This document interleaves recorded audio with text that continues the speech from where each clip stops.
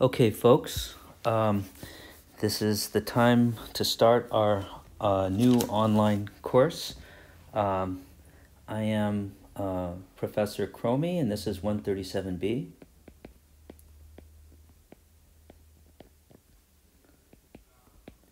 Um, and this is the second semester of quantum mechanics. Um, and so I'm having some technical difficulties with all this online stuff, but I hopefully it will work out. Um, so let's see. Uh, let's begin um, with the syllabus. So uh, go get your syllabuses. I'm assuming that you guys got it from bCourses. Take a look at your syllabus. Let's just go over that very quickly. That's where I like to start. Uh, I'm sorry I don't have a copy of the syllabus on my on my iPad. I'm assuming that you have it in front of you. So uh, let's just say a few things. Uh, the GSI for this course is Newton Chang. Um, uh, the text is Quantum Mechanics, third edition by Griffiths. Uh, I'm just reading this stuff fast because you guys uh, should all have it on a, in a Word document. The grading um, for this course will be um, uh, the midterm is worth 30%, the final exam is 43%, and the homework is 27%. Uh, the homework policy is that um, uh, we will typically post the homework on bCourses uh, sometime on Tuesday, um, uh, Tuesday afternoon typically. Uh, and then it, the homework will be due Friday of the next week, the week after. Um, and so um, uh, and and also uh, the policy of this course is that there will be no late homework will be accepted. Uh, so that means that the homework will be due on Friday, and then typically we will post the solutions the next day, Saturday, Sunday, or, or maybe Monday. Um, we'll post the solutions, and so we don't accept late homework. However, I do appreciate that um, there are many situations in which case you guys cannot do uh, uh, your homework. You know, I understand that you might get sick or have some some personal crisis, uh, and so what you can do in that case is send me an email. Uh, explaining in the subject of the email, put the which homework you're talking about, and then in the body of the email, just give me a couple sentence explanation why you cannot uh, do your homework that week. And then what i will do is i just will not not i will i will drop that homework. I will not count it toward your grade. So um, if you have a reasonable excuse then i will just drop that homework okay? But you gotta you gotta tell me uh, otherwise because we just cannot deal with late homeworks that's that's too complicated. Um, okay. So let's talk about the course content. Um, this is the second semester of quantum, so I'm going to assume that you all took 137A last semester or, or some equivalent course. Uh, this semester, the main topics will be uh, systems of identical particles, addition of angular momentum, uh, perturbation theory will be a big part of this course, time independent perturbation theory, the variational principle, WKB, uh, and then time dependent perturbation theory is a really important topic in this course uh, Fermi's Golden Rule, scattering, uh, and then advanced topics, time permitting. Well, actually, time will not permit. There will not be much extra time. However, uh, I'm hoping that there'll be a little bit of time, and I'll give. Hopefully, I'll be able to give a, a one or two lectures on the Dirac equation, just to give you guys a little uh, introduction to that advanced topic at, at the end. I'm hoping we'll have time for one or two lectures on the Dirac equation, which is pretty interesting. Uh, okay, so um, let's talk about books for this course. Um, um, you really should use other books for this course. Uh, there is really no great single quantum mechanics book that just sort of nails everything. Uh, uh, there just it just doesn't exist. Uh, the the course for this book, the book for this course is, uh, as I said before, the Griffiths book, third edition, which is a very nice book, but it's not perfect. Um, it doesn't, I don't like how it does everything. Uh, and so, really, what you should do is, is get other books. Um, I would suggest, if possible, that go to a used bookstore or, or eBay or something and just try to pick up some, some used books. It's really nice to have a few quantum mechanics books because then, uh, if you don't understand something, then different authors often explain quantum mechanics very differently. Griffiths is is very good. He's really good at explaining things, much better than, for example, Liboff. I think uh, Griffiths is pedagogically talented. Uh, but nevertheless, he some things he just doesn't you know do well, uh, and so uh, but but that's very much subjective, and so if there's some topic that's not making sense to you, I really suggest that you look at other books because the different books will explain things very differently, and one of them will be the right book. You know, one explanation will be the one that works for you, and of course, you should also go and you can you can t- go to the uh, the TA. Uh, there'll be office hours. Um, we are blessed this um, this this this semester. We we have Newton Chang is is the GSI, the main the head GSI. Um, um, let me make sure I'm getting his spelling his name right. And so you should uh, get in contact with him uh, for, for office hours. Uh, but then uh, we also have another uh, uh, tutor for this course called uh, Juan Carlos. Um, and he will be, oh shoot, I, I didn't bring his, that's actually his, uh, his name is Juan Carlos. Um, and then, and then you can also contact Juan Carlos, and they will both be having office hours.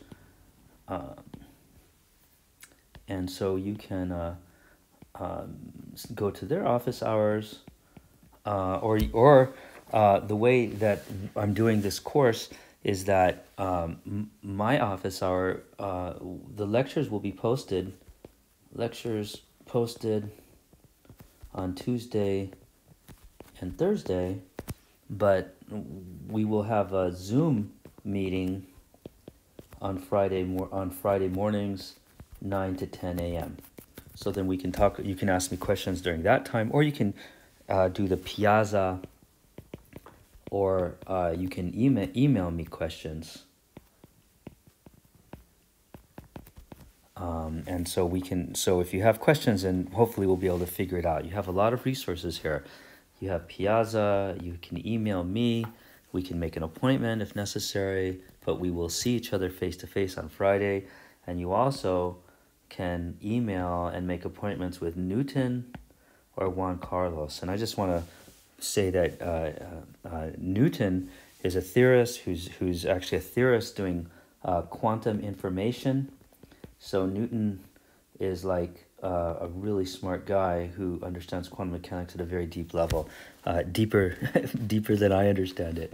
Um, so you know you have good resources here.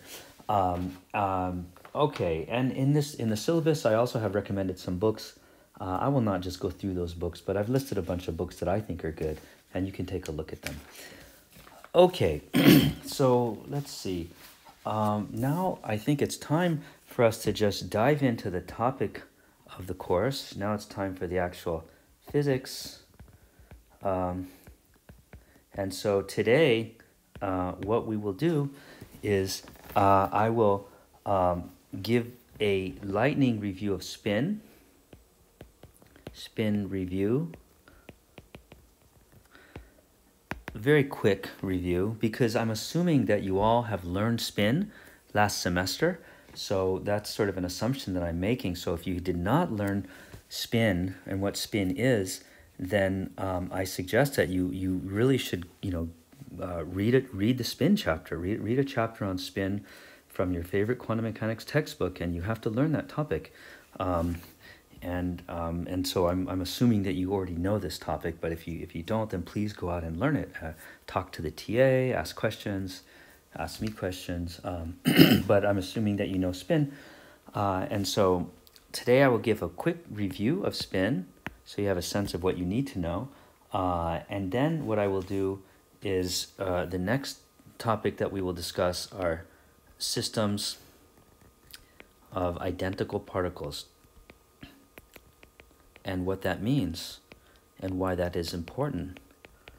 And so that that's kind of cool. That's a very new topic uh, for you guys, if uh, I'm assuming that's something that's not typically not covered in 137A, uh, and uh, it's kind of cool. Uh, so, all right, so let's start.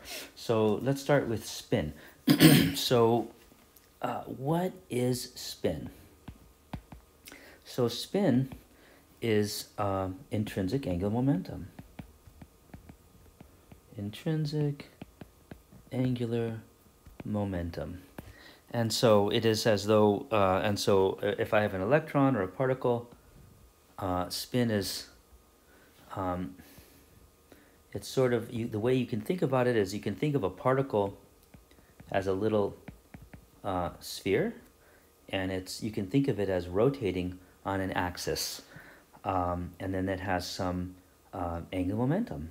And so the angular momentum of the particle as it rotates on that axis is you can think of as spin. angular momentum equals spin.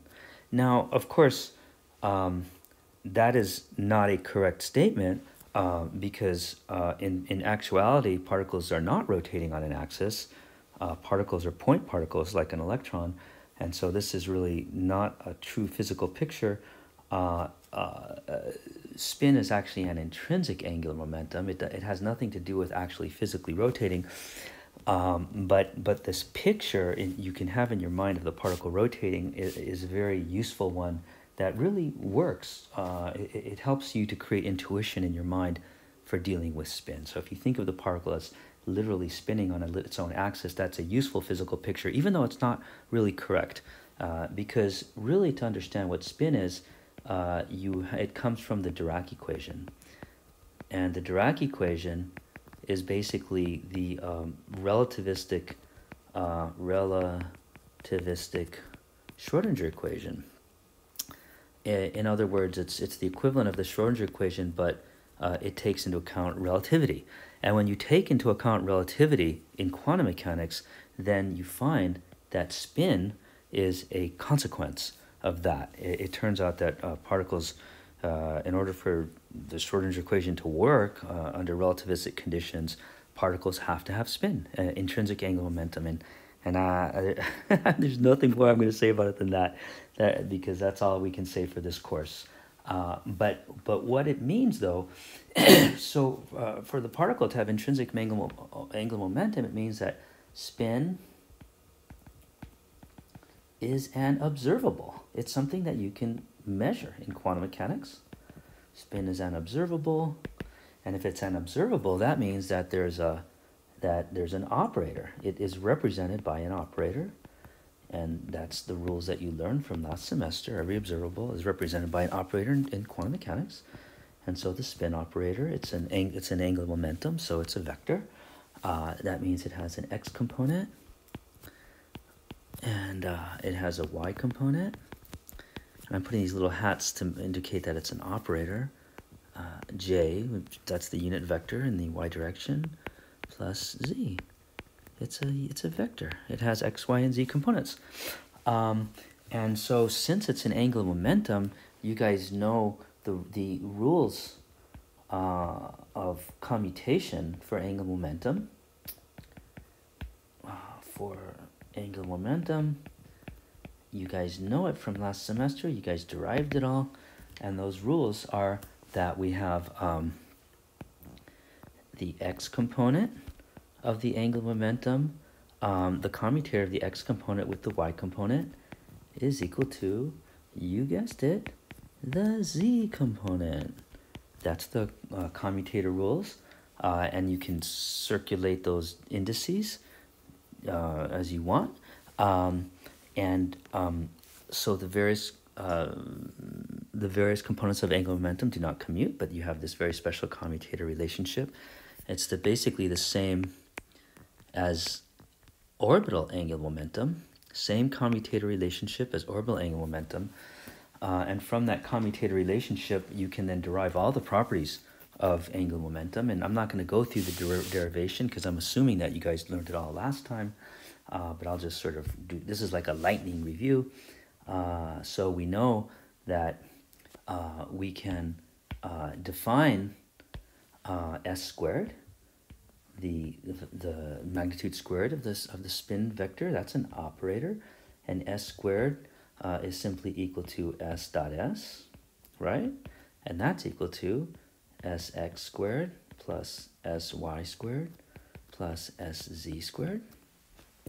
Uh, and so if I define, and this is these are operators, and so if I define that as the s squared operator, uh, I'll just call it s squared. I won't do all this vector notation, it's too tedious. But if we define that operator, then it's very simple to show that s squared commutes with every component um, of, uh, of, the, uh, of the angular momentum uh, vector. Uh, and this could be sz or sx or sy. Uh, so s squared commutes with all the different components of the angular momentum vector. Um, and so what that means, uh, since these two operators uh, commute, then what that means is that I can write a sim. So then, since they commute, that means that I can have a simultaneous uh, eigenvector of those two operators. And so that means that there exists, there exists some states, some eigenstates, which can be simultaneous eigenstates uh, um, of s squared and sz. So there exist these states which are uh, simultaneous eigenstates. Simultaneous eigenstates of s squared and sz, since s squared and SZ commute. Um, and so uh, what that means then is that those that those um, those eigenstates must have eigenvalues. And so uh, then we can find out what, what are the eigenvalues. Eigenvalues, what are they?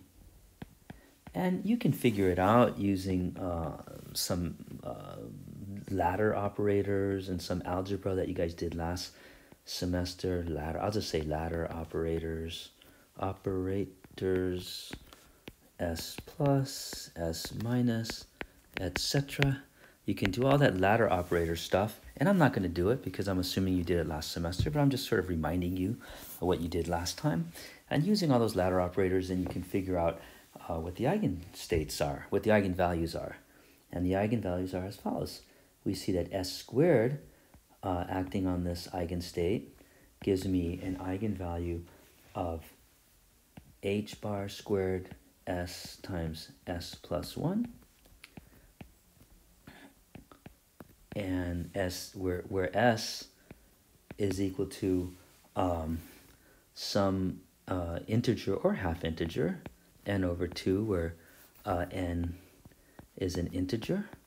So that means that s can be either an integer or a half integer.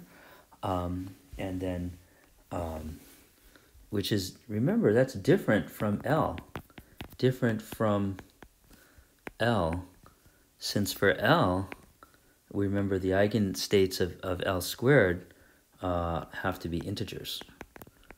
Remember that? Uh, I won't get too much into that, but spin, that, that's the uh, a main difference is that spin can take on half integer values, whereas uh, orbital angular momentum uh, can only take on um, uh, integer values um, for L squared. okay, and then we see that the we can also find that the eigenvalue of the SZ operator is going to be h bar uh, times m, where, of course, m uh, is going to can be uh, any number that ranges from plus s to s minus 1, etc., to, um, as we keep going down, uh, s minus 2, etc., to minus s. So all, uh, all, all the increments from plus s to minus s. Um, okay, and so we see that there are uh, two s plus 1 states for, for a spin. Uh, and so um, what we can do then is um, we, we know that uh, uh, uh particles uh, have spin. They have intrin- particles have spin, but the amount of spin they have depends on which particle they are. So um, uh, uh, particles have an amount of spin. Uh, so S, the eigenvalue S, is intrinsic to each particle. So each particle has its own eigenvalue of s squared. So that's the eigenvalue that's the eigenvalue of the the uh, uh, that's the the eigen the uh, the quantum number for the s squared operator, and so that's an intrinsic property for each particle. And so uh, let's talk about some some particles. For example, um, let's talk about the electron, uh, which is the most important particle in my opinion, because I'm a condensed matter person, uh, and so electrons are very important in condensed matter. And so for the electron, the uh, eigenvalue of S is 1 half. Okay, so we see that, uh, that electrons all have S equals 1 half. They, they have a half spin. Um, and so that means that for an electron, then for each electron, uh, there then are going to be uh, two states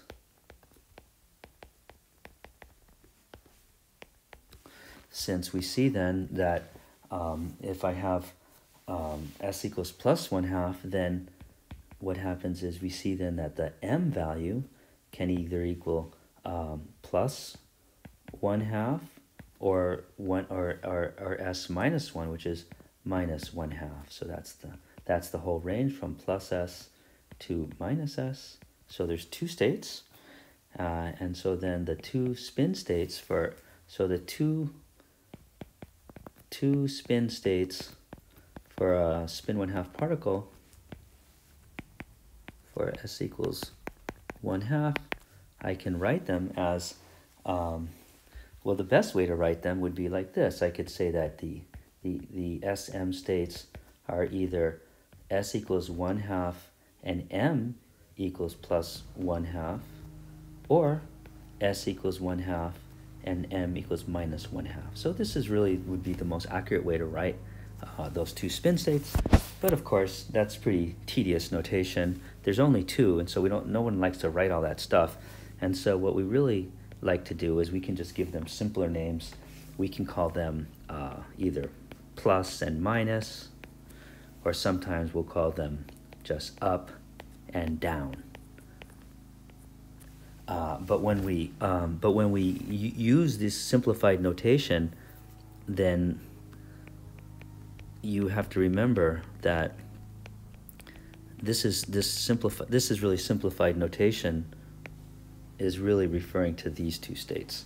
So we can say that so I could say for example that plus is equal to one half one half and minus is equal to 1 half minus 1 half. or, or, or I could call them up or down. So people use all those notations. Um, but because these are, um, because there's, there's two states, we can also write these two states. Another way of writing it would be using vector notation.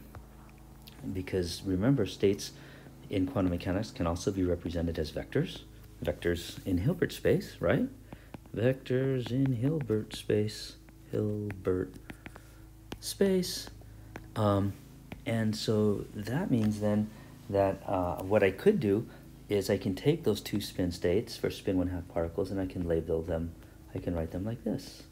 I could write them as, um, uh, I could write plus as, as one zero and I could write minus as zero one. Since there's only two states, so the, the Hilbert space is just a two-dimensional Hilbert space because there's there's only two uh, there's only two basis vectors, and so it's a two-dimensional Hilbert space. Uh, and so um, we can then say that the most general state, the most general state, spin state, then is a linear superposition. I can write like this, chi is equal to some superposition of spin up plus uh, some some uh, com some component of spin down. So this is a linear superposition of spin up and spin down. but of course, if we just do the simple uh, vector um, algebra, then you can see that a times 1, 0 is going to be a 0 and b times 0, 1 is going to be 0b. And if I add those two vectors, then it's just ab. So we can see that the most general spin state is going to be AB. But this, of course, is equivalent to A times uh, spin up plus B times spin down. It's the same thing, just different ways of writing the same thing. And I've I wrote it all these different ways just to remind you guys, just to get you back in the mood for doing this these kinds of manipulations. Um, and so, um, so what we can do then is we can uh, this this vector notation is very convenient, and so using the vector notation, then um, vector notation for spin one half particles, then we can write out we can we can then write out what the spin operators look like for a spin one half particle because um, we we have a two dimensional Hilbert space, two D Hilbert space, and so that means that the operators in a two dimensional Hilbert space have to be, uh, you guessed it, a two by two matrix. Because the objects in a two dimensional Hilbert space, then the objects in that Hilbert space are, are two dimensional vectors. And so if I'm going to operate on a two dimensional vector, then the thing that operates on it is a, is a two by two matrix. And so we can then, um, so what we can do is we can we can figure out what those matrices are because if I have spin is equal to sx i plus sy j plus sz k, then uh, it's convenient for me to rewrite this in this way. It's, it's convenient for me to, to rewrite it as, uh, right here below, as uh, h bar over 2. This is just a different notation, sigma x i plus h bar over 2 sigma y j. This is just convention plus h bar over 2. It makes the units easier when we do this. Uh, k, so I can just rename my spin my spin components uh, in this way, uh, you know, where these things are the same, see? And if I do that, then what we can do is um, we can then figure out what these operators are. What, what then are sigma x, sigma y, and sigma z? What, what are they? Well, what we can do, it's really easy to find out because we know that they must be two by two matrices, but what, what are they? So let's do, we can do, we can do, for example, um, sig, let's figure out what sigma x, let's figure out what sigma x is. Sigma x is, it's gotta be some, um, matrix matrix so it's going to have a 1 1 component and it's going to have a, a 1 2 component and it's going to have a, a 2 1 component and it's going to have a 2 2 component and so if we want to figure out what those components are then that's really easy because then we know that if we want to find the sigma x 1 1 component then that's just going to be we take state 1 on the left we take the operator and we take state 2 on the right. Um, and so in this case, what's, what happens is that state 1 is going to be uh, the up, um, is going to be our, our up, and state 2, of course, is going to be down, spin down. And so what I have to do is I have to figure out what this uh, matrix element is. And when you figure it out, then what you'll find uh, if you do some of the algebra, and I'm not going to do this algebra, but if you you have to uh, you'll have to express, for example, s sigma x in terms of ladder operators, ladder operators, and when you do that, you'll find that um, sigma x 1 1 is equal to 0, and you'll find that uh, sigma x 1 2 is equal to 1, etc if you if you do all the all the all the math, which I'm assuming that you have done, and when you do all that, you can then figure out what these operators are. You can see that sigma x, which is represents the x component of spin, is a matrix which is 0, 1, 1, 0, and sigma y is a matrix. If you do that same uh, procedure, and it's going to be 0 minus i, i 0, and yeah, sigma, sigma z is going to be uh, 1, 0, 0 minus 1, and so, um, and then, um, so these, of course, are the famous Pauli matrices, Pauli matrices. They're so famous and useful that we give them a special name. These are the Pauli matrices, which represent the, uh, the XYZ component of the spin operator for S equals 1 half. Uh, spin operators for S equals 1 half particle. Um, okay, and so then of course we can do, you can do, now you can do all your, all your various uh, manipulations. For example, if someone says that a particle, for example, has is in some spin state, say chi is equal to a b, and so someone could then say, uh, what is the uh, expectation value of the x component of spin? I could ask you that.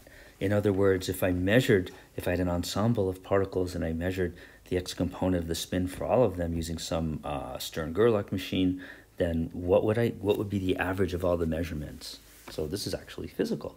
Uh, and then you would say, then you could you could calculate it because then you say, well, um, the expectation value of an operator is simply uh, I take the state because the expectation value is always for some state, uh, chi, and so the expect so then I have to take chi on the left, and then I sandwich it with chi on the right. That's the definition of expectation value, which you learned last semester.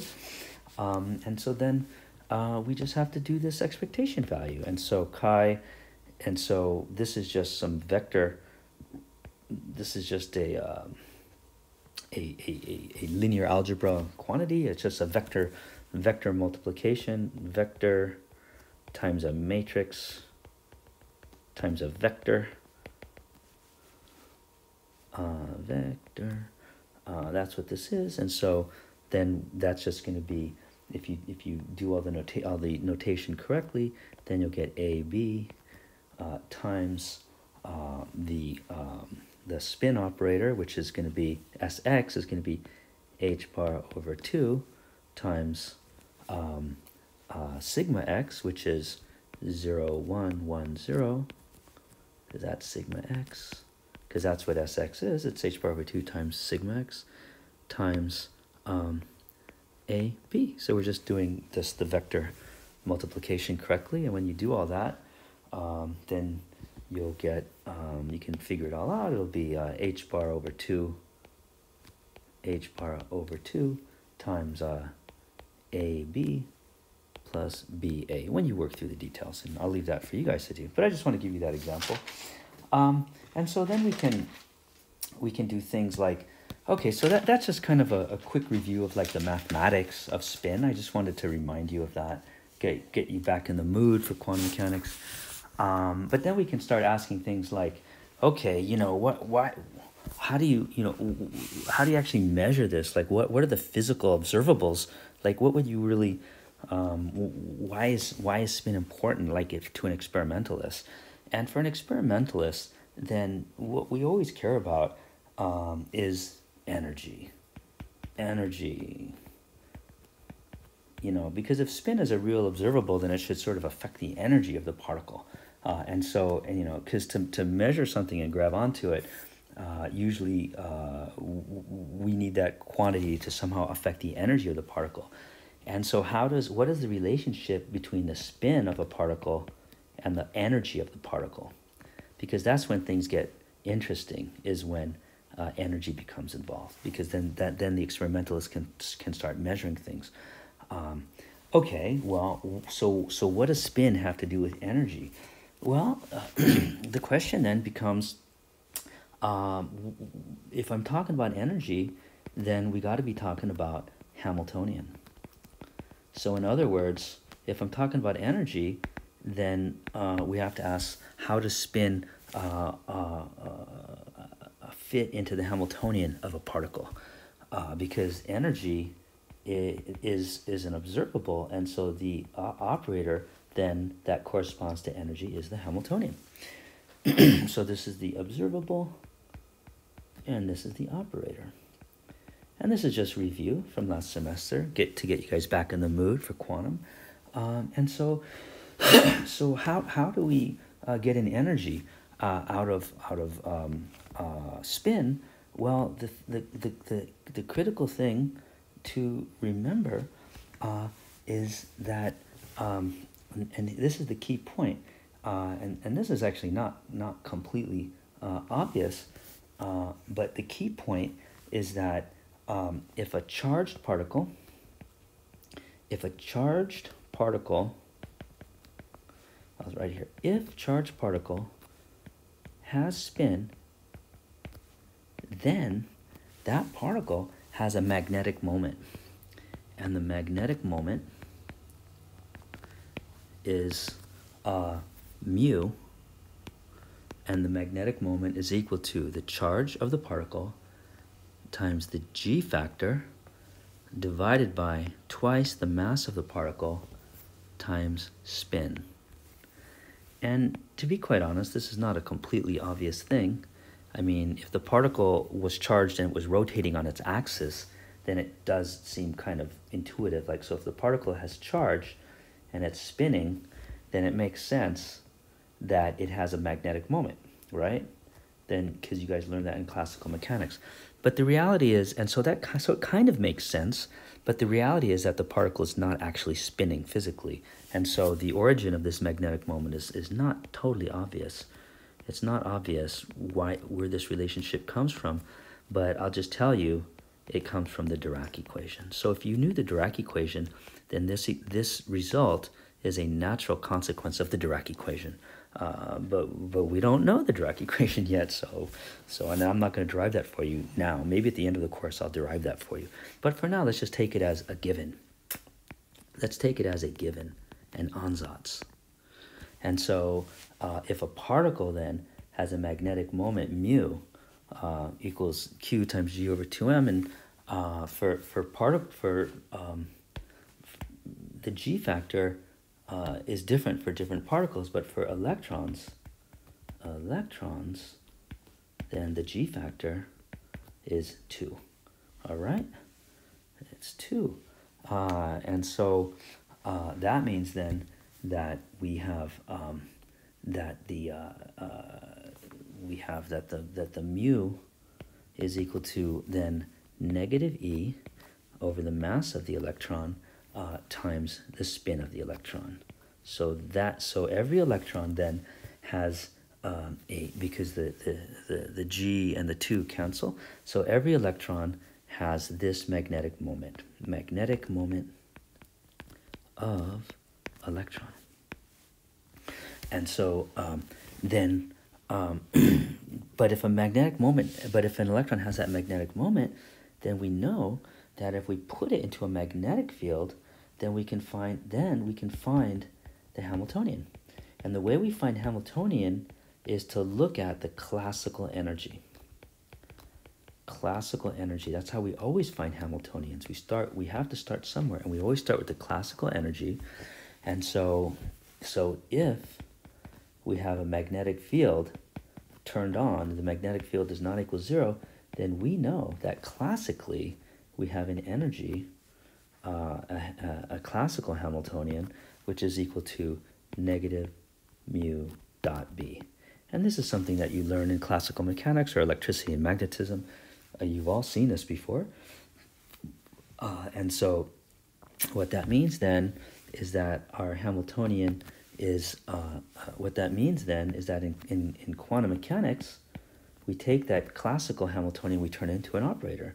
So in quantum mechanics, would say H is equal to uh, negative mu, where that's the operator, uh, and then we have the B field, uh, and and B we don't we don't we can just that that's just a field. So for for we're not doing field theory, so we'll just so uh, that's not an operator, but because it's um, it's something that we set, uh, but the but the it's not a property of the particle.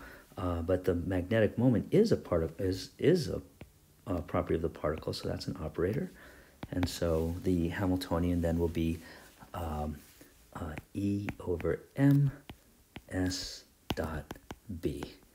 Okay, and so then we can see that um, the um, the Hamiltonian uh, is S dot B, and so then we can see that if if uh, B, let's just let's not say if, let's just let's just say that the magnetic let's just make the magnetic field uh, equal to uh, pointing in the z direction, then what we have is this very famous uh, Hamiltonian, which is that the Hamiltonian is um, E B over M times uh, S Z. So this then is our is our Hamiltonian for a particle for an electron in a magnetic field for E minus in a B field.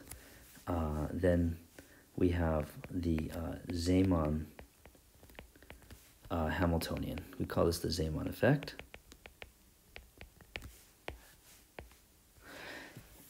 and so um, and so then we could say, okay, well, what does that mean then? What are the en- what are the allowed energies of a, of an electron in a magnetic field? Well, then we would say the allowed energies the allowed energies and, and this becomes important because this is what an experimentalist measures we measure the energy we can measure the energy of a particle and so the allowed energies um, of an electron in a magnetic field are going to be uh, the eigenvalues of the Hamiltonian. So we got to figure out what those eigenvalues are. H um, psi n is equal to E n psi n. So we got to solve that. Solve this. And then we can find the allowed energies because the allowed energies are going to be the eigenvalues of the Hamiltonian. So these are the eigenvalues, eigenvalues. Uh, and so let's find those eigenvalues. And so let's so so to find the allowed energies, we got to find the eigenvalues. So let's do it. So H will replace H with this this thing because that's what H is for an electron in a magnetic field. And so we see E B over M S Z times psi n um, is equal to uh, E times psi n.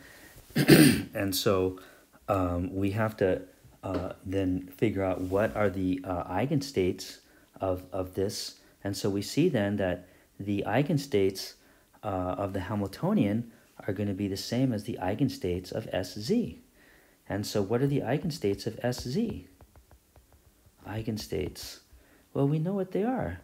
The eigenstates of SZ is simply uh, plus and minus because SZ times plus is equal to h bar over 2 plus, and we know that SZ times minus is equal to minus h bar over 2 minus. So uh, immediately we, we can see what the eigen, so then we can see that the eigenstates uh, have to be these guys, plus and minus. And so then we can see then that um, if we plug those in, EB over M SZ times plus uh, is equal to E times plus, and so and so what I'm going to get then is um, E B over M times H bar over two uh, is going to equal E, and so that's E plus, and similarly we can have minus E B H bar over two M is equal to E minus. minus, and so we can immediately see what the eigen what the energies are for an electron uh, in a magnetic field. So these are the energies for an electron in a B field.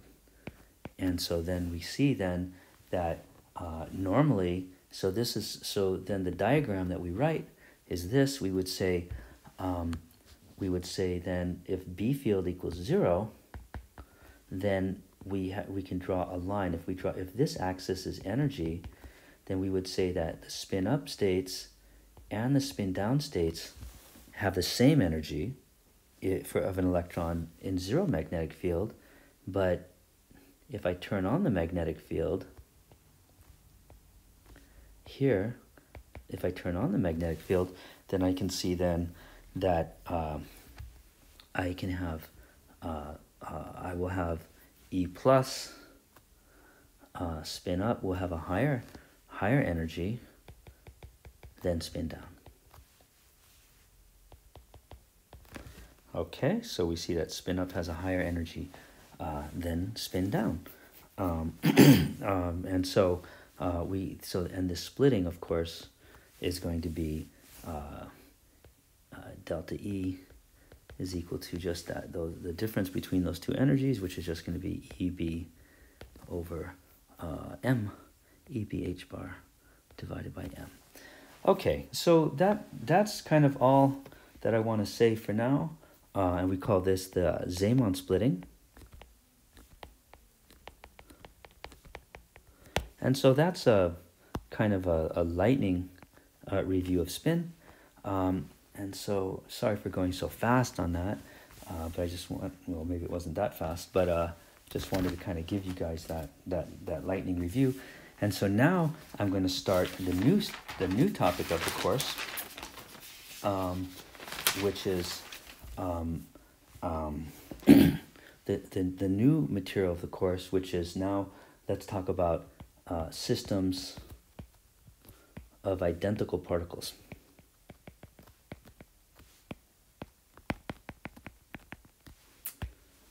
Okay, so now uh, we're moving into uh, a new topic, um, and, but it's still, but there's still some review going on. So just to kind of remind you, so uh, what we want to understand is what happens when we have many particles in quantum mechanics.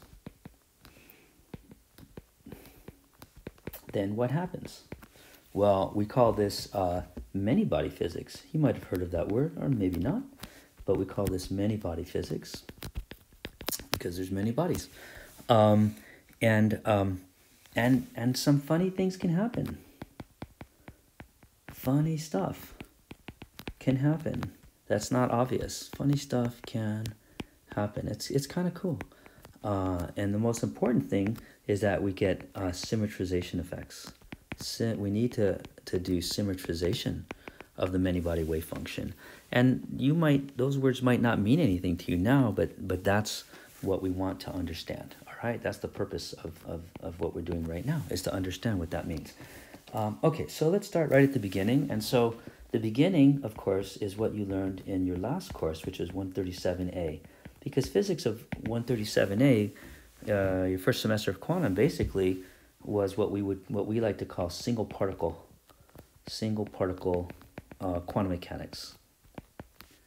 And single particle quantum mechanics basically means what is the physics of a single particle? And and you guys and what you learned uh, is that what you learned last semester is that if you have a single particle, um, then the particle is described by, for example, the particle can be can be described by a Hamiltonian, and the Hamiltonian is the energy operator, and it has a kinetic energy plus a potential energy right?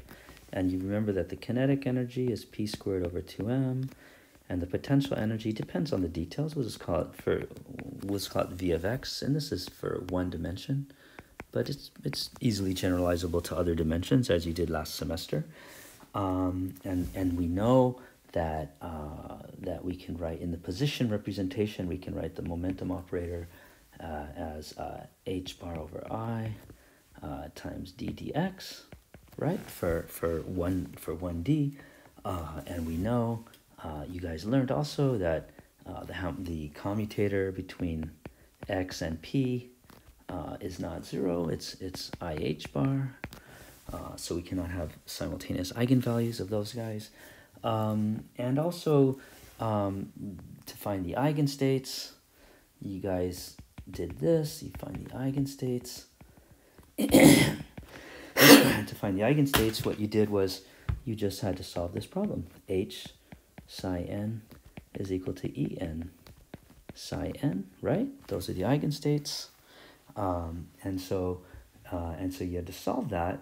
Um, and so it and so the the eigenstates uh, depends it depends on the details. It depends on which potential we're talking about.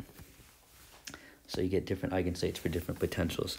And that pretty much summed up, you know, uh, physics uh, 137a. But there's a few more little details. for example, uh, we know that, for example, if we if we can find if we find these eigenstates, uh, then we know that uh, if I take the nth eigenstate and I project it onto the state to be at x, the the uh, the bra x, then um, that I can call that psi n of x, and so then we know that uh, if that has some energy uh, uh, en, if that's the nth eigenstate, then we know that we can write the wave function of a particle at some times t, sometimes t. We can decompose it into uh, all the different energy eigenstates we'll call them psi n. Uh, and then of x, we can write it like this. And then you can take the this the wave function at some time t equals 0. Um, and we know then that uh, we can, each of these components is going to have a, a simple uh, time dependence, E n t over h bar. Okay, and so, so because each eigenstate has a very simple time dependence, and so I can take the wave function at sometimes t and decompose it as a superposition of eigenstates, and that then allows us to write the time dependence of the wave function very easily, like we just like I just did. Um, and so this should be a review from last semester. and if I want to know the probability, the probability to find a particle uh, at some position, probability density, then we know that the probability uh, density to find a particle at some location position at x is going to be equal to uh, psi star of x times psi of x, right? So that's the probability density. and, and so I could say that uh, I could look at the probability density at some times t, and I can write it like this, psi of x t. If I know the wave function of a particle at some times t, then the probability density is just psi star psi uh, at, at, that same times t. And since, uh, since this is a probability density, then we know that it has to be normalized because probability must be normalized. And so what that means then is that the integral from negative infinity to infinity of rho uh, of xt dx has to equal 1. So in other words, the uh, because probability, all the, prob the probability, all the different possibilities added up have to be 1, the probabilities, because something's got to happen. And so if I add them all up, that equals 1. and so that means that the wave function has to be normalized. in order for uh, quantum mechanics to have a uh, meaningful probabilistic interpretation, the wave function has to be normalized. so uh, psi is normalized. Okay, and so this is all review from last semester, but I'm just kind of reminding it of you because this is the, the sort of the starting point. And so if I if we add spin, then we can see that uh, we can then write a wave function. Um, uh, we, we can write uh, our, our wave function then is equal to, we can have the um, uh, we can have the, the, the orbital part, but then we can also have uh, the spin part. So it's just a simple product. So we have what we call the orbital part, the, the part that depends on uh, position, and then the part that depends on spin. We just multiply them. Okay, so that's so that's the the wave function. So when we add spin, um, okay, so this this is sort of what you learned last semester, and so that I think kind of completes 137a. All right, but now, so let's let's look at an example.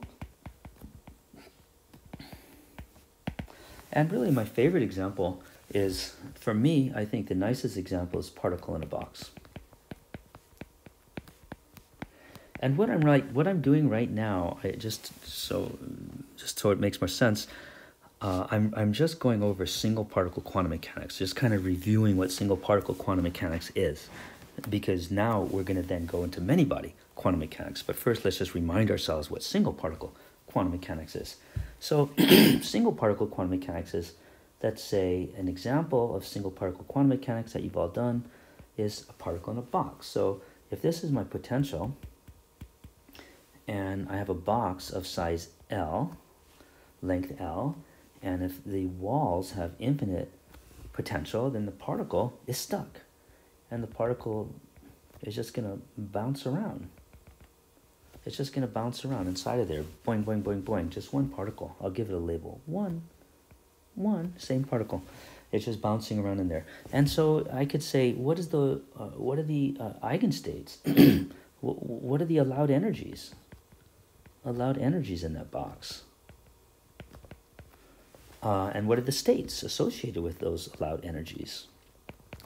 Well, you know how to solve that. You have to solve this. H psi n equals E n psi n. And then you get the allowed states and the allowed, the allowed energies and the states associated with them. So we solved this. And that's what you did last semester, and you know the answer. the answer is this. You found that the wave functions, the eigenstates, are these guys. Square root of 2 over L times uh, sine uh, n pi over L, n pi over L uh, times x, uh, where En is equal to n squared pi squared h bar squared over 2ml squared, 2ml squared. I'm sorry, my phone is ringing. Who's trying to call me? Oh, God. I don't want to talk to him. Um, okay, so, um, all right. Uh, so, so, okay, so these are the allowed states and the allowed energies. Um, and, and so that's what you get for a single particle bouncing around in a box. And, and so you guys all have all done that. and that's really cool. Um, okay, but now uh, and, and this is and this of course is normalized. We normalized it to get that factor in front. And so it's all good. Uh, and these are the allowed energies for each of those states. And you guys have all did that. You guys have all done this. I know you have. Um, and so, but now this is the new problem. Okay, so now this is the new problem that we want to understand. What happens when we put a bunch of particles in the box? This is the new problem. Okay, finally we're getting to something really new. the new problem is what happens now when I have a bunch of particles in the box.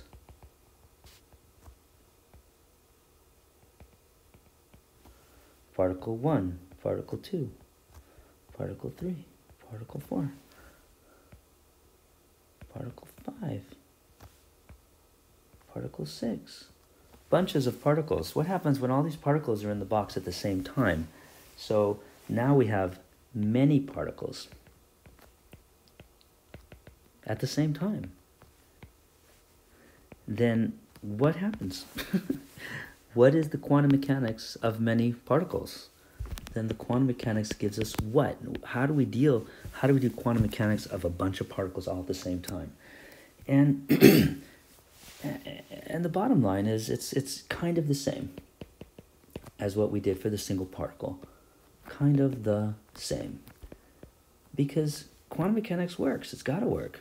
Otherwise, nothing makes sense. So what we do is is it's the same. We we have to then uh, the the system is described by wave function. System described by a wave function. But now the wave function is a many body wave function because now I have, um, let's say I have n particles. Now I can describe the n particles with now a many body wave function. And my many body wave function has to then be some function of the position of all those particles. There's going to be particle 1 sitting at x1, particle 2 sitting at x2, particle 3, particle 4, etc. So this is the position of each particle. Particle number one is sitting at x1. Particle number two is sitting at x2. Particle number three is sitting at x3, etc. And so this is the many-body wave function. And so because the, the postulates of quantum mechanics still works, still work. Postulates of quantum mechanics still work. They still work. So uh, all the little things still have to happen. You still have to have observables, observables, operators, wave functions. It's all the same. It still works. Quantum mechanics still works with many particles, but you just have to keep track of everything. And so uh, let's let's generalize. So so quantum mechanics can generalize to many particles. It generalizes. And so then what that means then is that we define the wave function. And so then what, what I can do is I can say the probability to find the particle, the part, but now it's not just one particle, it's many particles. The probability to find the particles at um, x1, if for the part the probability to find particle 1 at x1 and particle 2 at x2 and particle 3 at x3 etc where that's particle number 1 and that's particle number 2 and that's particle number 3 the probability to find the particles at particular locations in space is then going to be of course the probability density just like you defined before it's going to be rho x1 x2 x3 xn, which of course is going to be the same thing as before. It's just going to be psi many body um, x1, x2, uh, star times psi many body of x1, x2, etc. So it's just again psi star psi. So we have the same probabilistic interpretation same probability behavior probability behavior same so the same so quantum mechanics still has the same probabilistic interpretation as before the but we just have to keep track of all the particles okay and and so and so if if probability still works that means then that it has to be normalized because probability is always normalized so negative infinity to infinity. Uh, if we if we do all these integrals, then uh, if I integrate the many body wave function, oops, let's put it on the bottom. If I integrate the many body wave function over all the possible positions of all the particles, dx1, dx2, dx 3 dxn, then that integral has to equal, you guessed it, 1. Still normalized, just like before. So everything's good. Still normalized. Uh, and similarly, uh, we can write down, we and similarly, we can still think of energies. So we still have energy of the many body the, the, the, what is the, we could say, what's the energy of the, of the system, of the many body system? Well, that can be represented by Hamiltonian, a many body Hamiltonian. Just, just like before, we just add it up. And so, uh, the, and to get the Hamiltonian, we just, uh, and, and we can just, we can get the, the many body Hamiltonian from the classical Hamiltonian in the same way as before. We can get it from the classical Hamiltonian uh, and so that means then that we just if we if we uh, if we try to write the classical Hamiltonian for a system of many particles, then we just add up the energies. We just add them all up, and so we have particle one has some um, some kinetic energy, and we have particle two has some kinetic energy, and we have particle three has some kinetic energy, and particle 4, etc., all the way to the last one, so their total kinetic energy, we can just add it all up. But then, of course, there's also the potential energy. and that and that's kind of where things can get more complicated depending on the potential energy. But let's just write it down. Um, I can have potential energy of particle 1, particle 2, particle 3, and particle n. So, so we can write down the Hamiltonian pretty easily. It's, it's, it's actually not hard to write down the Hamiltonian. Solving it, on the other hand, can be quite hard. Finding the actual eigenstates can be quite hard. but, but still, all, all the details are still the same because um, I know that if I have the uh, position and uh, uh, I, I, know the, I can still write down the um, the uh, uh, momentum operator for the ith particle is still the same as before. It's still, uh, I can write it down as a, as a del operator, a, a, a derivative with respect to space. And, uh, and so if I have some particle, say the ith particle, uh, and I can ask, I can ask, does this uh, position operate, does the position operator commute with the momentum operator and of course um, they it depends um, because this is a generalization I can write this as uh, IH bar delta IJ and so this is this is really actually quite simple it's just basically saying if I look at the position of say particle 1 and the momentum of particle 2 then those things commute because uh, they're they're they're separate. They're separate, very separate quantities. There there's no, uh, I don't have the, they're not uh, complementary variables. Um, but if I have, uh, but if I'm looking at the position of particle one and the momentum of particle one, then that does not commute. Okay, and so so if I'm looking at position momentum of different particles, then that commutes just fine. But for the same particle, it does not commute. That's simply the meaning of this uh, of this equation.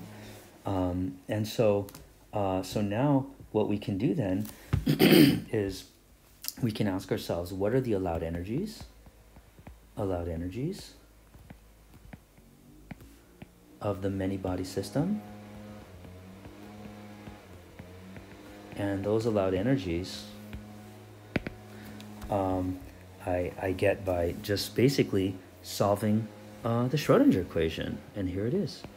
I take the Hamiltonian, and I hit the Hamiltonian uh, on the uh on the the eigenstate, which is now of, of uh, a function of, of all position of all the particles, and so then what I get back is the eigenenergy of that state x1, x2, xn.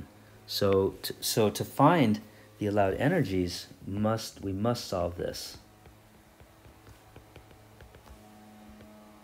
To get the allowed energies, we just have to solve uh, the time-independent Schrodinger equation for the many-body system. So this should kind of make sense. This is really the same thing as what we did last time. Uh, it's just a very simple generalization. And, and once we know it, so once it's solved, then the then the eigenstates then help us to uh, to figure out um, time. Then then we can use them to find the time dependence. Because once you know uh, the eigenstates, then the time dependence becomes easy. Time dependence is easy if we have um, En and psi n. Because once we have that, then we know that if psi, if my wave function at t equals zero is an eigenstate, even at, let's say a many-body, uh, if my many-body wave function at t equals zero is a many-body eigenstate of the Hamiltonian, say this nth eigenstate x1, x2, x3, etc., then I know that my wave function at some time later, uh, t not equal to zero, at some time later, I know then that my uh, wave function will simply evolve in time in a very simple way I have the same spatial function. Oops, and Let's get this right. Oops.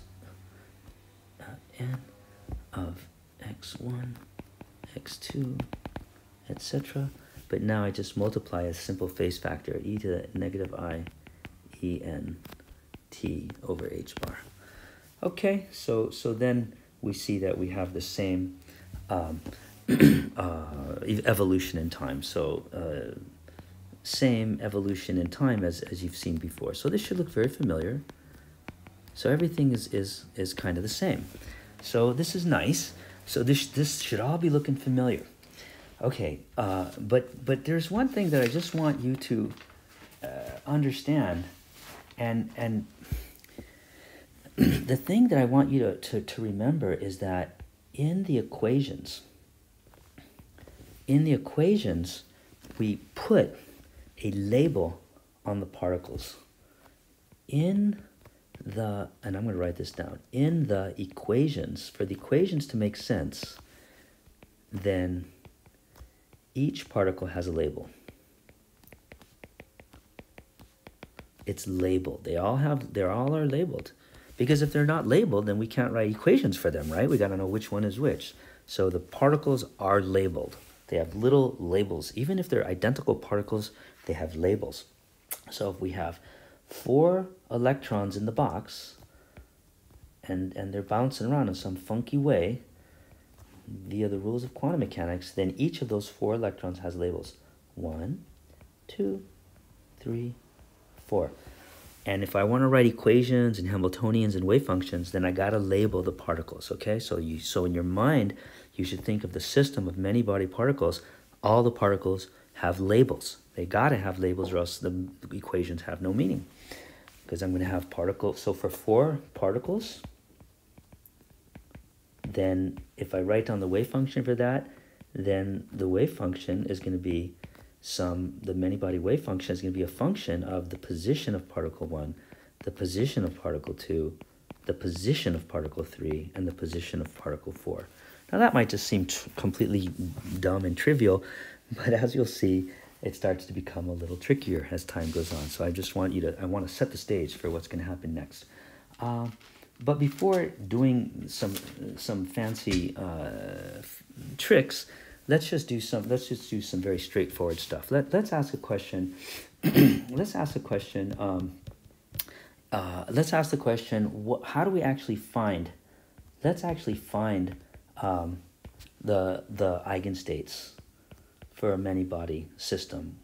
What is the, the what are the uh, many body eigenstates for a many body system and the allowed energies for a many body system. What, what are they? Let's actually find them. Um, uh, okay, so let's actually do a real problem. Now, this is, uh, it depends on the details, but this can either be really easy or really hard. So it's either super easy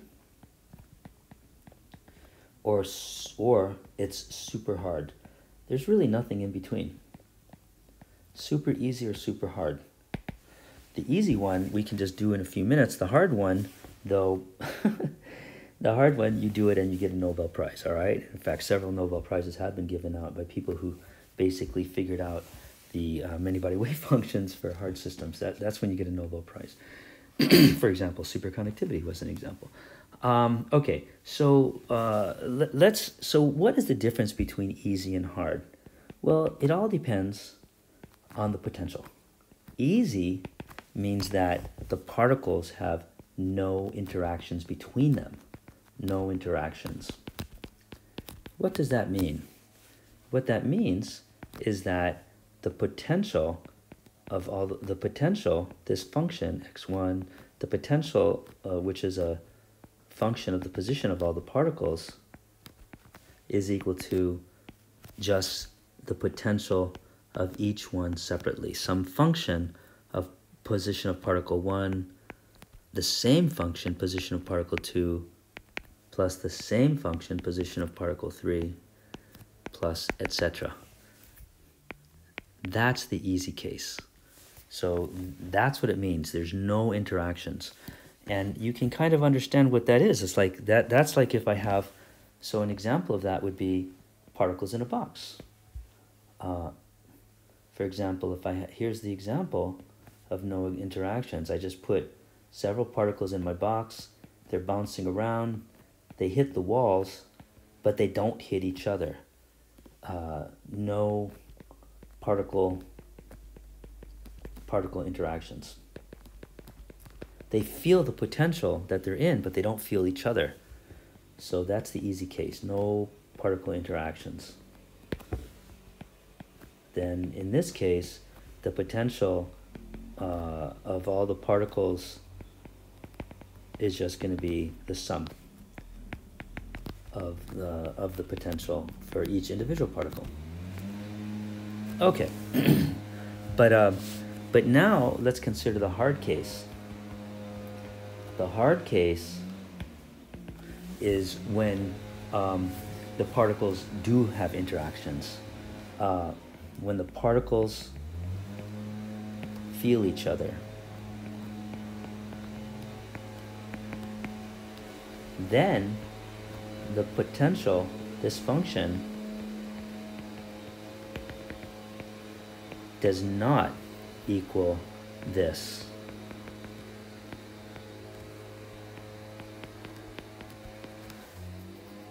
And so then it becomes super hard. And, and the most famous example is Coulomb. Uh, the Coulomb interaction. A, a, an example would be the Coulomb interaction, because you know that electrons have charge, and so the uh, potential that they each feel, um, I could say that the potential between two particles, x1, x2, is going to be, um, if they have charge, then it's going to be q1, q2 over 4 pi epsilon naught uh, times the distance between them. I'll call it um, uh, x1, 2, where that's the distance between them. And so now we see that this, uh, I cannot write this as um, uh, a function of x1 plus a function of x2. It doesn't work because here we have this because x1, uh, x1, 2 is going to be equal to, is going to be, uh, uh, it's going to be uh, x2 minus x1. So, uh, and it's in the denominator. And so v of x1, x2 is equal to q1, q2 over 4 pi epsilon naught. Uh, I keep on having problems here. Uh, x2 minus x1. Okay, this absolute magnitude. So, so that, okay, so you see that I cannot write it as a, as a sum of uh, a function of x1 and a function of uh, x2. It doesn't it doesn't work. Okay, so that's the hard case, and so so um, the hard case is super hard. so if the potent if the particles feel each other, then this is just too hard. And so um, th this is basically what people study. This is like uh, current topics of physics is to understand what happens when particles feel feel each other. And so that that's that's sort of like cutting edge physics, and so that's not what we're going to do in this class. Um, you'll do that in graduate school. Um, okay, so uh, but what we can do in this class is we can treat it with perturbation theory. So we'll we'll make approximations, perturbation theory, and that's something that we'll talk about later in, in this course. And basically, perturbation theory is just another word for making gross approximations we'll make approximations to deal with this situation. So that's the hard case. So let's forget about the hard case and let's just talk about the easy case. Let's do the easy case. So let's consider when there's no interactions. And let's ask the question then, what then, if there's no interactions, then what is the uh, uh, eigenenergies and eigenstates for uh, a system of many particles. And so let's consider this case. My favorite case, we just have a bunch of particles in a box.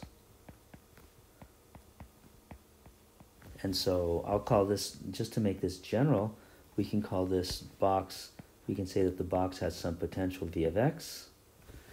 Uh, I mean, it doesn't have to be like a hard wall box. It could be a soft wall. It could be, you know, all the potentials that you learned last semester. It could be simple harmonic oscillator box. It could be anything, but just some potential. And they're all in there. And so I have n particles in that box. And that box has some potential landscape. I'll call this the potential landscape. And all the particles are sitting in that potential landscape. And so I want to know uh, what is uh, the uh, the many body eigenstates and the many body energies that are allowed. What are they? And so uh, so we can do it. Let let's solve it. And so what we have to do then is we we have to find we have to find the many body Hamiltonian and then we have to solve this equation. We got to take the many body Hamiltonian and we got to hit it up against the many body eigenstate and it's got to give us a constant times the many body eigenstate, right? That's how it works. So we have to solve this to find the allowed energies and the states that are associated with them. Okay, well, let's do it. Let's actually solve it. because um, if the particles don't feel each other, then it's really easy to solve this. Because what we can do is we can write down that the um, um, we can just write down that the potential um, uh, of all the particles is going to be equal to the sum from i equals 1 to n. It's just going to be the potential of that each particle feels independently. So it's just a simple sum.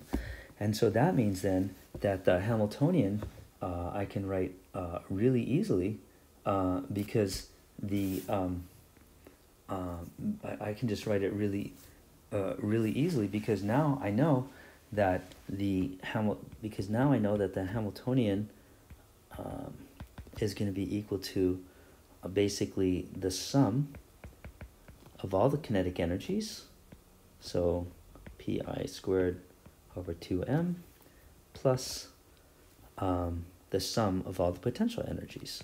So each particle independently has a kinetic energy and it has a potential energy and I just sum them up. And so and so that's my Hamiltonian. So this is the easy case when no interactions between them. And so so now I have the Hamiltonian, no interactions between them for this easy case. And so now what I can do is I can then just say so to find so to find uh, the eigenenergies and the eigenstates, I just have to now solve uh, my time depend in my time independent Schrodinger equation. So uh, it's going to be I take the uh, I take the the uh, Hamiltonian i equals one to n, and uh, I I take it p i squared over two m plus v of xi. And it's summed over all the n particles. And I hit it against my hypothetical uh, eigenstate, which is a function of all the uh, positions of all the particles. And then I, and I know it's going to be equal to a constant times that same function. That's what an eigenstate is. x1, x2, dot, dot, dot, dot, dot xn. And I also got, all I got to do is solve this equation.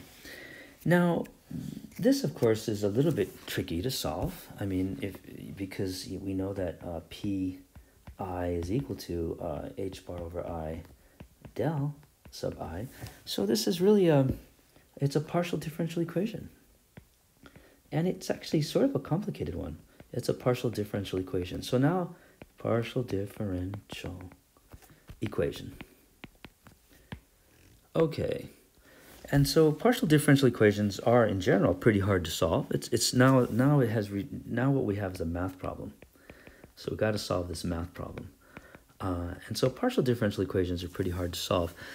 But we have some tricks. We have our favorite tricks, and, and sometimes when these we have there's there's a bunch of tricks that we use to solve partial differential equations, but there's one trick that we love more than any other trick. Our favorite trick the physicist's favorite trick for solving partial differential equations Um, and, and so our favorite trick is, can you guess?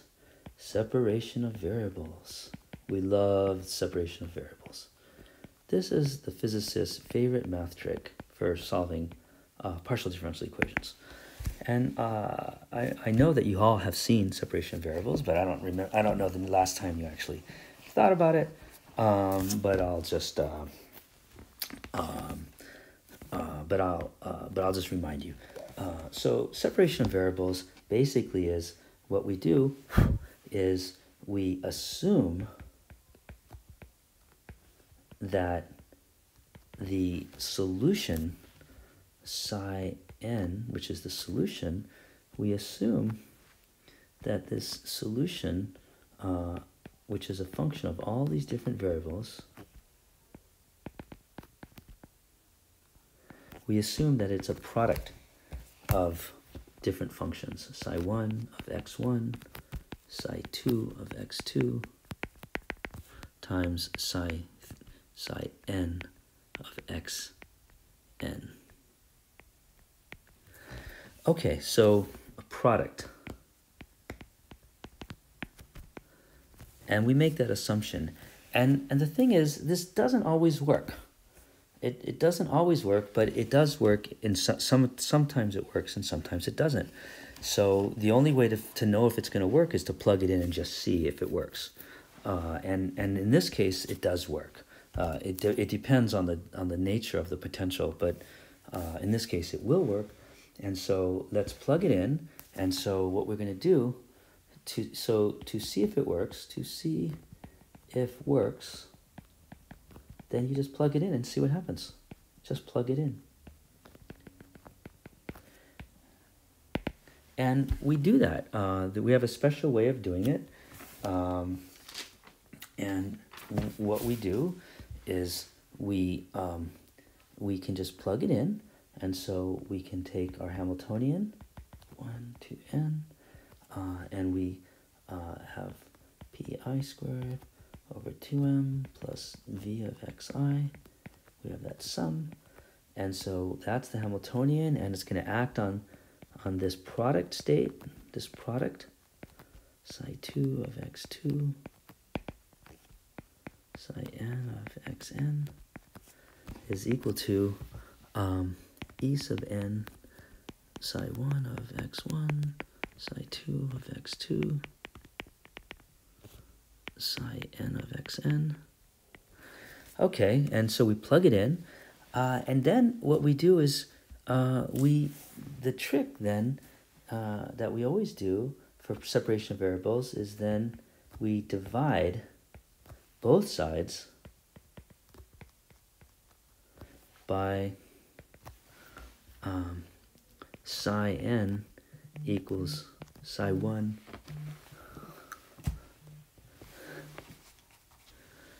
um, of x1, psi 2 of x2, psi n of xn.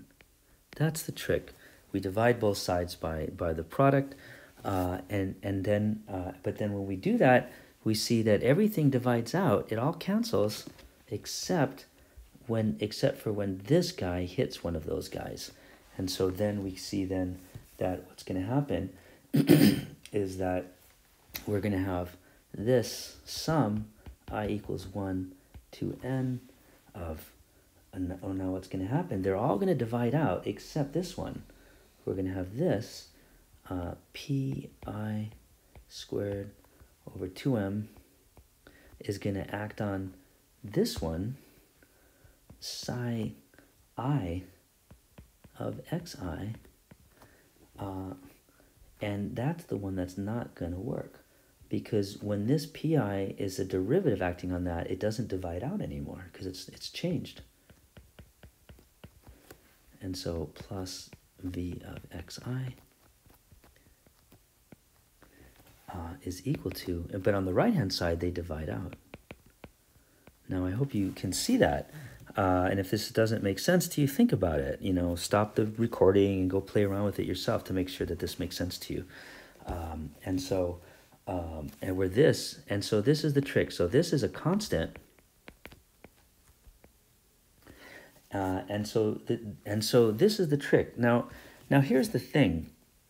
This, this now we're going to do the separation of variables trick, and you I know that you all have seen this trick before, um, and so uh, I'm just going to tell you the trick, is that this is this is a sum uh, of uh, uh, I can plug in I can plug in any value for xi into this sum. And, and these functions all have to um, add up to a constant. Then always adds to the same constant. Now the only way that this can work, the only way it works, it, it, it work, can work if and only if this thing is equal to a constant. For this to work, then this thing, pi squared over 2m psi i of xi over psi i of xi plus v of xi, this thing has to equal a constant. I'll call it epsilon sub i, where this is a constant. That's the only way uh, that this equation for, for this equation to be true up here, this equation can only be true if this is true. So this must be true. All right, it's a mathematical uh, tautology, a theorem. Um, okay, so then if this is a constant, then that means then that I can multiply both sides. Then I can multiply by uh, psi i of x, and what I end up with is that I have pi squared over 2m psi i of x um, plus uh, v of xi psi i of xi is equal to epsilon i of xi uh, of psi i of xi. And so that is just the, the single particle Schrodinger equation that you learned before.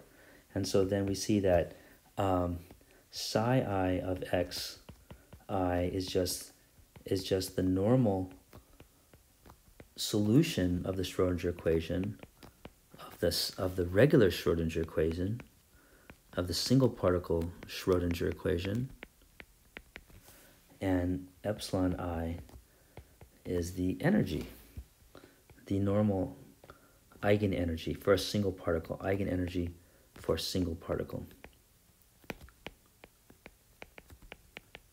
And so then what we see then is that um, then what we have is that um, we then have we can then see that the so then we have the answer because now we can see that the eigenstate psi n of x1 x2 x3 these are just the normal eigenstates uh, the eigenstates psi n1 of x1 times psi n2 of x2 etc psi uh, n n of xn so, so we see that the, the many-body eigenstate is just a product state.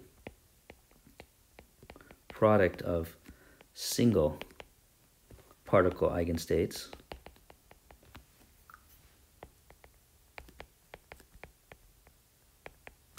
And then we see that the, uh, the eigenenergies is to get the eigenenergies, we go back to this equation and we see that this we have the sum of the epsilon i's from back here. Remember, it comes from, from here because these guys each equals epsilon i. And so we have the sum of epsilon i 1 to n is equal to en. And so we see then that the, the eigenenergy, the total eigenenergy is just the energy of the first particle plus the energy of the second particle plus the energy of the third particle, blah, blah, blah. Energy of the nth particle. And so this is the this is the many body uh, eigenstates. Many body eigenstates if no interactions. Okay, folks, uh, I, I realize I went a, a little bit over. I'm sorry. Uh, I'll have to uh, I'll have to stop here. Uh, I'll, I'll, I'll give you back that time next time. Uh, okay. Uh, thank you. Uh, bye bye.